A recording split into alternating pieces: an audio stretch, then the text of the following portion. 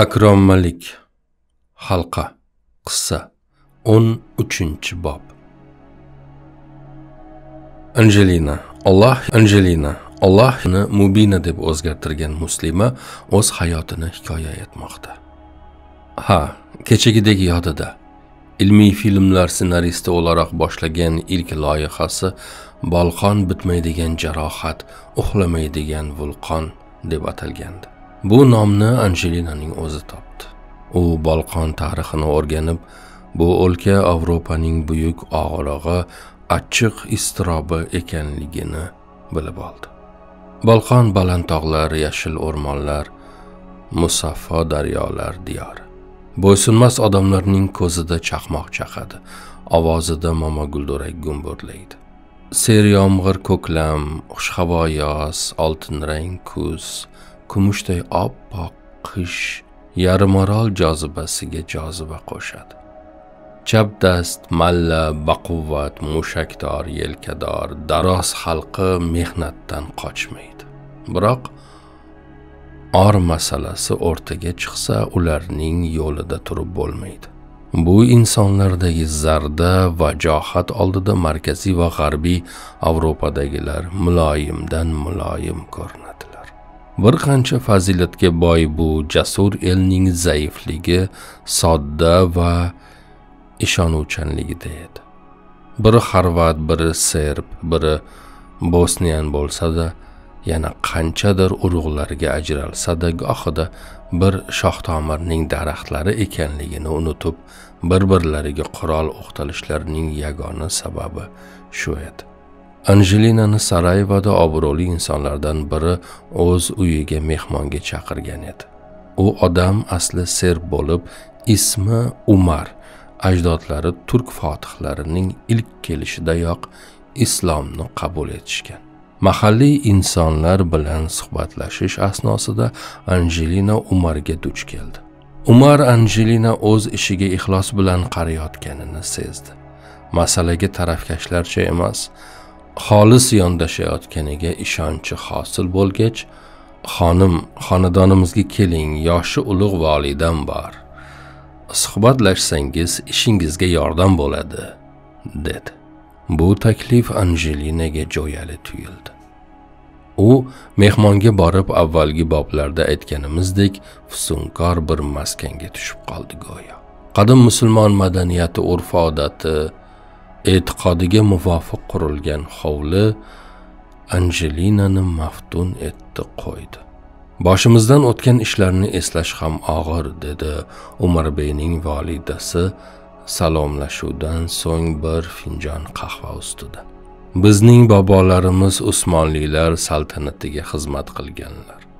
O'g'lim umarning ajdodlari sulton sulaymonxon sulton ahmadxon sulton salimxon davrlarida podsho maqomida edilar. Keyin diniy islomning ravnaqi shariati muhammadning himoyasi uchun ota yurtga vatanga yuborildilar. Bolqon qadimda rim imperiyasiga tobe edi. Nasroniylik dini xalq ichida yoyildi keyin turklar islomni keltirdilar. Shuni yaxshi bilingki balqonda hech kim islomga majburan kiritilmadi. Musulmonlarning ulug' olimlari da'vati fotihlarning yerlashib go'zal hayot namunasini ko'rsatishlari natijasida odamlar islomni qabul etdilar. Diqqatingizni bir haqiqatga qaratay bolqon usmonliylar qo'l ostida bo'lgan paytlarda xalq juda osoyishta yashadi. Zotan islom zamonamizning ayrim madaniyatli va ilg'or insonlari kabi terining rangi tilga nasl nasabingga qaramaydi. O'z nafsiga yoqmagan birovni yerga urib o'ziga mahbub birovni ko'kka ko'tarmaydi. Islom qandaydir zo'ravonlarning ra'yi kayfiyati tuyg'usi istaklariga boqib yashash emas balki har ishni ilohiy qonunga muvofiq bajaradigan dindir. Anjelina xonim mening erimni o'g'lim umarning otasini muso poshsho deyishardi. U o'lkamizdagi musulmonlarning rahnamosi edi. U barcha ichki diniy masalalarni hal etardi. Hukumat ham u kishi bilan hisoblashib ish tutardi. Muso poshoning biror gapi yerda qolmagan. Borgan joyida boshga ko'tarib kutib olardilar. Nasroniylar ham zo'ravonlar ham muso poshsho bor ekan o'zboshimchalik qilishga jur'at etmadilar. U paytlari biz juda muhtasham uyda yashardik. Umarning yetti akasi ikki opasi bor edi. Nevaralarim quchog'imda kelinlar xizmatimda edi. U paytlar oftob boshqacha porlab oqshomlar o'zgacha tarovat kasb etardi.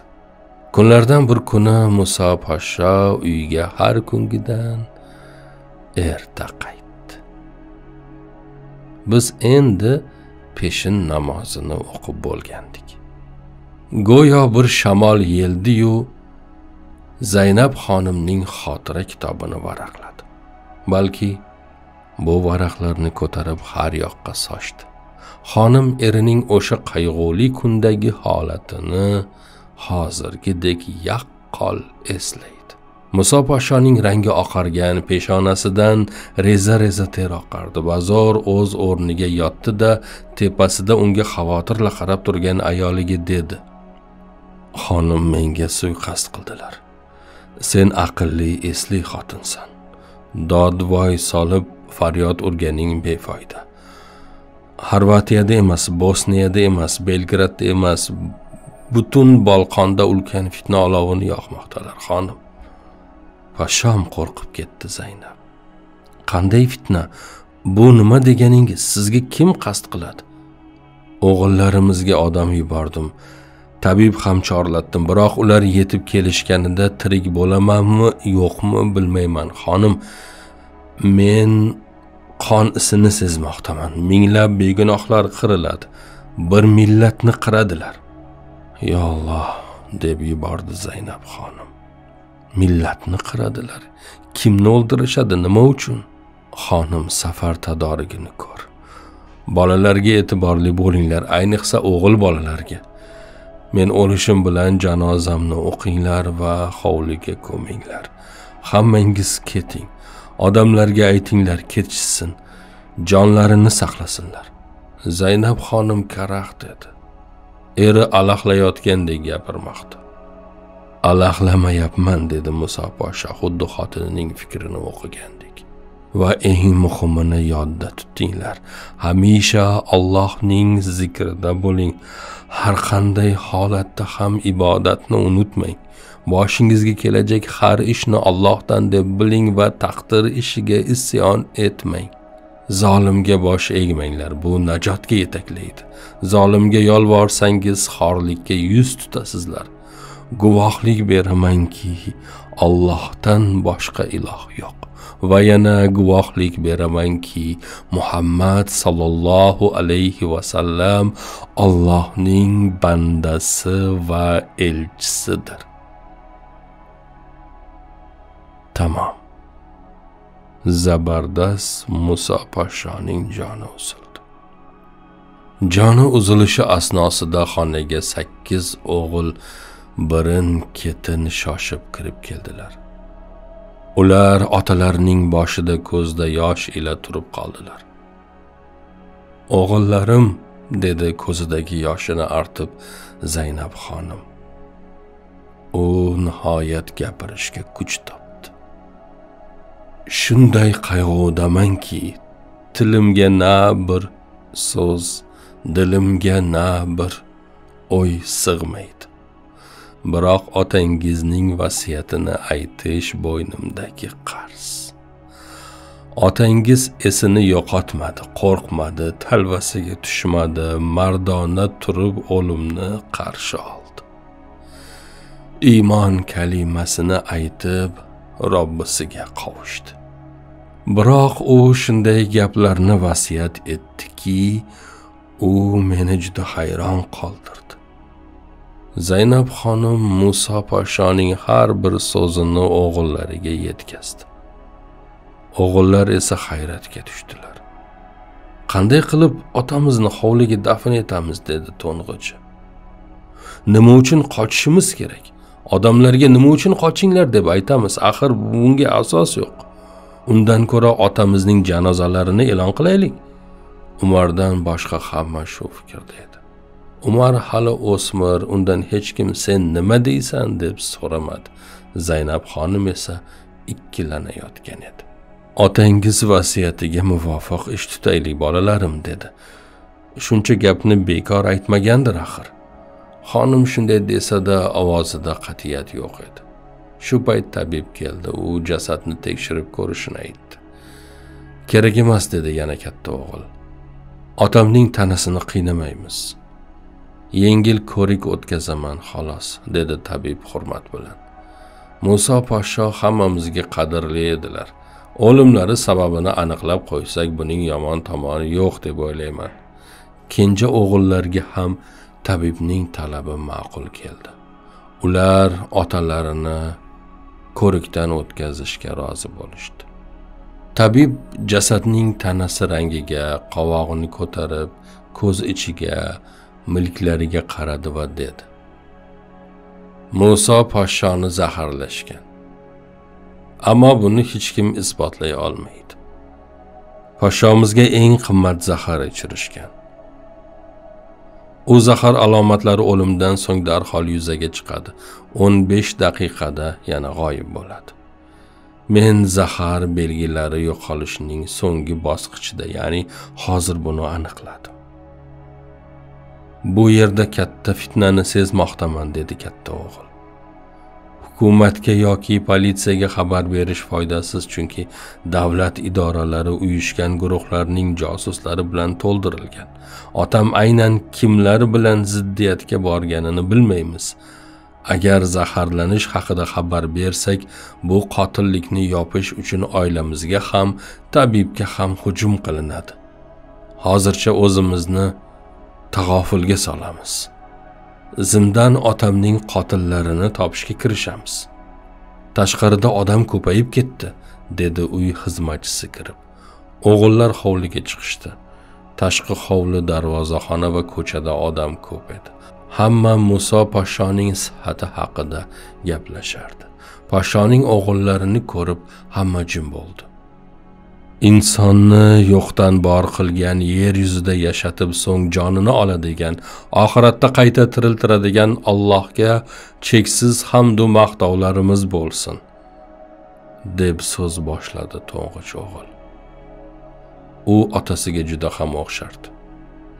Islom dinini go'zal bir tarzda bizga yetkazgan habibimiz muhammad rasululloh sollallohu alayhi vasallamga oilai ashoblariga avlodu atbolariga durdudlar salovat va salomlar bo'lsin. Aziz musulmon do'stlar akalar ukalar hammamiz allohnikimiz va albatta unga qaytajakmiz. Otamiz muso poshsho mahmud poshsho o'g'li bir necha daqiqa oldin jon omonatini allohga topshirib iymon kalimasini aytib boqiy olamga rihlat etdi. Olomon guvulladi inna lillahi va inna ilayhi rojiun. Alloh rahmatiga olsin. Alloh gunohlarini kechirsin. Qanday buyuk odam edi. Axir soppazoq yurgan edi-ku. Allohning taqdiri odamlar ichidan yonoqlari va iyagi turtib chiqqan kulrang ko'zi chuqur botiq sariq qoshlari siyrak yakkam dukkam soqolli suyagi buzuq bir nusqa baqirib so'radi. Podshomiz bizga nimani vasiyat qildilar? Tovush sovuq va juda baland yangragani uchun birdan shovqin bosildi. Muso podshoning katta o'g'li so'rovchini ko'zlari bilan topdi. Negadir bu avtoangorni yaxshi eslab qolishga tirishdi. So'ng javob berdi. Otamiz Allohdan qo'rqinglar gunohdan chetda bo'linglar shariatni mahkam ushlanglar deb vasiyat qildi. Subhanalloh alloh muso podshomizdan rozi bo'lsin oxiratlari obod bo'lsin. To'ng'ich o'g'il g'ovur tinishini kutdi nigohini savol beruvchidan uzmagan holda dona dona qilib dedi. Va yana fitna qilmanglar. Fitnachining joyi jahannam deb vasiyat qildi otam. Dafn uchun harakat boshlanib ketdi. G'assol keldi kafanlikni hozirlab jasadni yuvishga kirishdi. Go'rkov go'rkavlagani ketdi. Qorilar qur'on o'qiydi ta'ziyachilar hamdardlarning qadami uzilmaydi. Butun shahar muso poshshoning janozasiga yig'ilib kelayotgan edi.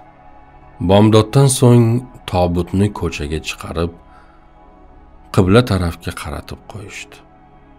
Odam ko'pligidan igna otsang yerga tushmaydi. Hukumat odamlari politsiya har yer har yerda ko'rinadi. Quyosh mashriqdan qon kabi qizarib ko'tarilayotganda imom janoza o'qish uchun saflarni tekislashni buyurdi. Qisqa ma'ruza ila marhum yaxshi sifatlar ila yodga olindi. So'ng janozaning birinchi takbiri uchun qo'llar ko'tarildi. Ayni shu lahza kun chiqar va kun botardan ikkita parrakli uchoq paydo bo'ldi va olomon ustiga tobora yaqinlab kelaverdi. Janozaning uchinchi takbirida odamlar namozni unutib osmonga qaradilar. Parrakli uchoqlardan ular ustiga o'q yog'ildi. Bu hech kim kutmaganda sodir bo'ldi. Chalg'i o'rgan g'alladek hamma yerga yiqila boshladi. Odamlar tutdek to'kildi. Qochish imkonsiz edi. O'liklar ayqash uyqash yerda yotar o'q esa to'xtay demaydi.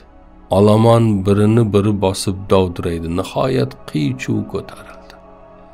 Parrakli uchoqlar o'n daqiqada ko'chani qonga to'ldirib yerga qo'ndi. Ichidan niqoblangan barzangilar otilib tushib insonlarni beayov o'ldirishda davom etdilar. Vahshiylar ichidan biri o'z soqchilari bilan muso podshoning hovlisiga yurdi. Darvoza tagida podshoning yetti o'g'li qonga belanib jonsiz yotardi.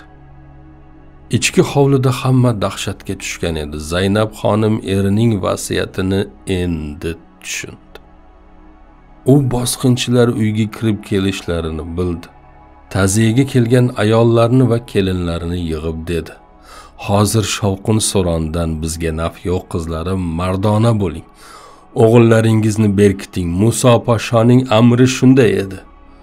O'q ovozlari yaqinroqdan eshitildi. Zaynab xonim rangi oqarib titrayotgan umarni va o'g'il nevaralarini uy ostidagi yerto'laga olib tushdi. Nima bo'lsa joyingizdan jilmang. Umar jiyanlarini quchoqladi. Zaynab xonim devorni paypaslab qandaydir g'ishtni bor kuchi bilan itardi.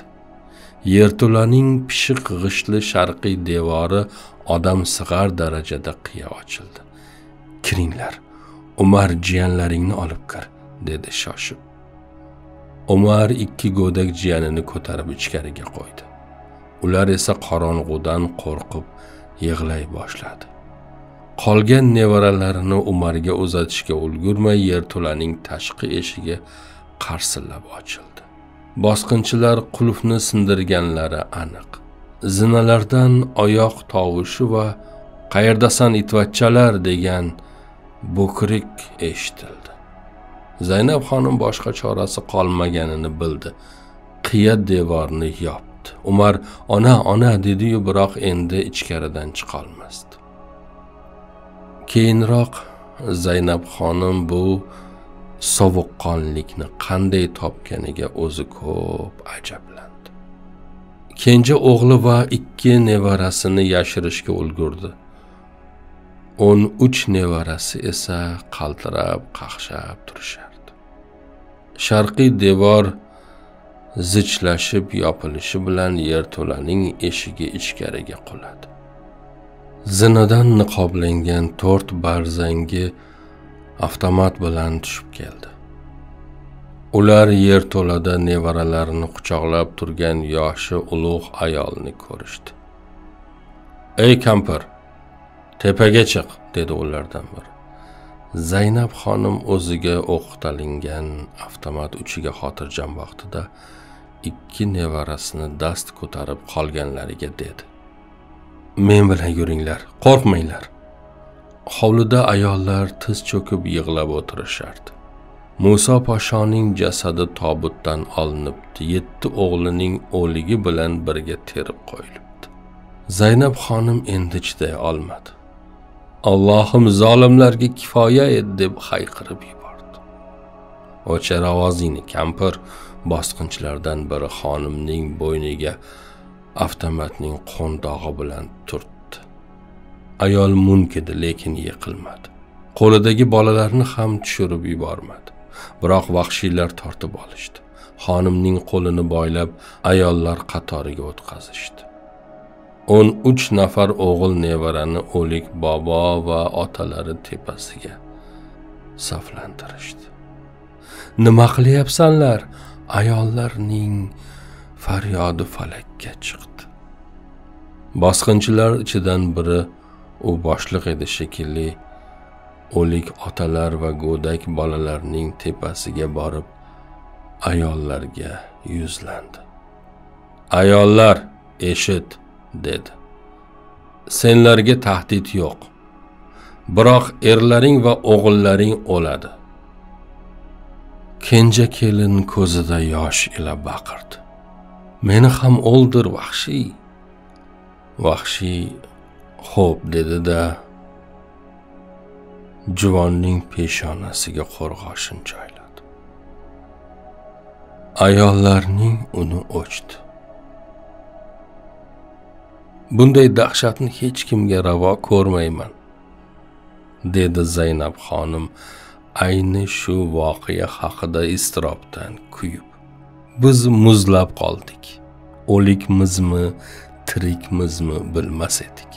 Inson zoti bunday yukni ko'tarishi qiyindir. Alloh esa bizga matonat beribdi sabr beribdi. Vahshiy so'zda davom etdi. Bizga muso podshoning sakkiz o'g'li va o'n besh o'g'il nevarasini o'ldirish buyurilgan. Biroq bizda yettita ota jasadi va o'n ikkita o'g'ilning tirigi bor. Kenja o'g'il va ikki nevara qani? Qani qayerda? Vahshiy shunday deb bo'kirgan ko'yi avtomatini bolalarga qaratdi va tepkini bosib turdi. Begunoh norasidalar sassiz sadosiz otalarining ustiga yiqildilar. Onalar o'rinlaridan turib o'zlarini farzandlariga otdilar. Ularning ohu nolasidan bosqinchilar mast bo'lishdi. Ko'chadan ham to'xtovsiz o'q ovozi eshitilib dahshatli qatli om avjiga chiqmoqda edi. O'liklarga to'yib ol dedi vahshiy. Hozir ular uylarining xarobasi ostida qolib ketishi mumkin. Zaynab xonimda mador qolmadi. Tomog'i quridi. Bosqinchilar hovli va uyga yer to'la va ichiga benzin separ edilar. Biri gugurt chaqib yubordi. Muhtasham hovli uy alanga ichida qoldi. Bosqinchilar qah qah otib hovlini tark etdilar. Uy esa gurillab yonardi. Zaynab xonim yerto'laga otildi. Yerto'la ichida olov lang'illar tutun ham burqsib chiqardi. Kelinlar o'lik bolalarni quchoqlab ingrab mungrab es hushlarini yo'qotib bo'ldilar. Hozir uyqulab tushadi. Bolalarim yerto'lada zaynab xonim butun olamni unutib alanga atrofida charx urib yugurardi. Bir necha daqiqada tomlar quladi. Atrofni quyuq chang qurum tutun qopladi. Nafas olish biror narsani ko'rish imkonsiz edi. Zaynab xonim kelinlarini ko'chaga sudradi. Uyning yonishiga ma'nosiz va o'ta horg'in qarab o'tirishdi. Chunki butun olamda ularga yordam beradigan hech kim qolmadi. Yordam beradigan hamma o'lib yotibdi. Ko'chalar o'likka to'ldi. Ariqlarda qonlar oqdi. Osmonni qora tutun va murda isini sezgan o'laksaxo'rlar egallab oldi. Muso poshsha xonadonining beva ayollari liboslari kir yuzlari qora kuya o'zlari ozurda hol o'tirardilar. O'shanda qalbimni ezgan azobning ta'rifi yo'q dedi zaynab xonim. U og'riqni boshdan o'tkazmagan biror zot bila olmasa kerak. Qanday tirik qoldik bilmayman. Olloh olloh deb faryod chekardimu? Bo'g'zimdan bir sas chiqmasdi. Miyamda biror fikr qalbimda biror tuyg'u qolmadi go'yo. Aqlim hodisotlarni miyamga muhrlashdan to'xtamaganini bilaman. Ehtimol hamon tirikligim robbimning bir hikmati va rahmatidir. Zaynab xonim kuch topib o'rnidan turdi. Yer bilan yakson bo'lgan hovlisiga qarab talpindi. Yerto'lani topmoqchi edi biroq olov hamon haroratli tafti terini kuydirgulik edi. Biroq ayolni bu to'xtata olmadi. U issiqqa ham kuyayotgan qo'llariga ham achimsiq tutunga ham parvo etmay olazarak qarab yerto'lani izlayotgan edi. O'n uchinchi bob tugadi.